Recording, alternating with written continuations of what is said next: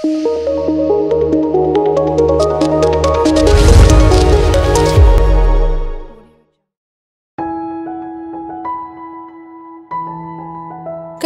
പ്രഥമ മുഖ്യമന്ത്രി E M എസിനെ മൂന്ന് തവണ നിയമസഭയിലെത്തിച്ച മണ്ഡലമാണ് പാലക്കാട് ജില്ലയിലെ പട്ടാമ്പി. രണ്ടായിരത്തി പതിനാറ് മുതൽ സി പി ഐയിലെ മുഹമ്മദ് മൂസിനാണ് ഈ മണ്ഡലത്തെ പ്രതിനിധീകരിക്കുന്നത്.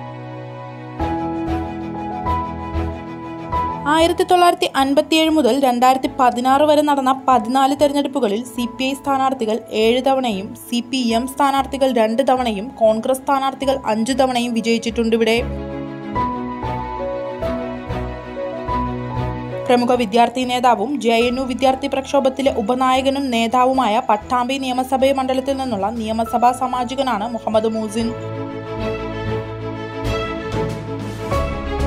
സഭയിലെ ഏറ്റവും പ്രായം കുറഞ്ഞ അംഗവുമാണ്. രണ്ടായിരത്തി പതിനാറിൽ നടന്ന തെരഞ്ഞെടുപ്പിൽ സി പി മുഹമ്മദിനെ പരാജയപ്പെടുത്തി സി പി ഐയുടെ യുവ നേതാവായ മുഹമ്മദ് മൂസിൻ മണ്ഡലം യു ഡി എഫിൽ നിന്നും തിരിച്ചുപിടിച്ചു. രണ്ടായിരത്തി പത്തൊമ്പതിലെ ലോക്സഭാ തെരഞ്ഞെടുപ്പിൽ പാലക്കാട് നിന്ന് ഇന്ത്യൻ നാഷണൽ കോൺഗ്രസ് നേതാവ് വി കെ ശ്രീകണ്ഠൻ പതിനൊന്നായിരത്തി അറുന്നൂറ്റി മുപ്പത്തേഴ് വോട്ടിന്റെ ഭൂരിപക്ഷത്തിനാണ് ജയിച്ചത്.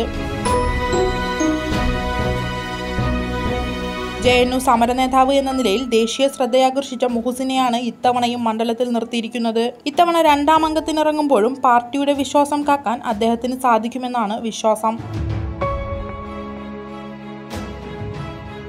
K S U youth Congress നേതാവ് എന്നീ നിലയിൽ പാർട്ടിക്കുള്ളിൽ ശ്രദ്ധ നേടിയ റിയാസ് മുക്കോളിയാണ് യു ഡി എഫിന് വേണ്ടി പട്ടാമ്പിയിൽ ഇറങ്ങുന്നത്. പാർട്ടി തന്നെ ഏൽപ്പിച്ച ദൗത്യം ഉത്തരവാദിത്തത്തോടെ പൂർത്തിയാക്കാനാണ് റിയാസിന്റെ തീരുമാനം.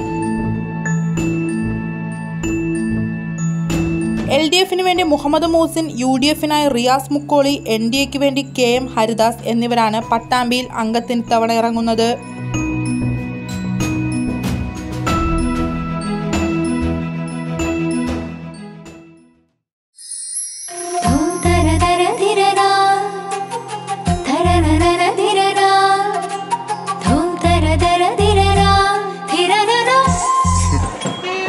mesmerizing wedding collection. Tejaswini by Chungat Jewelry.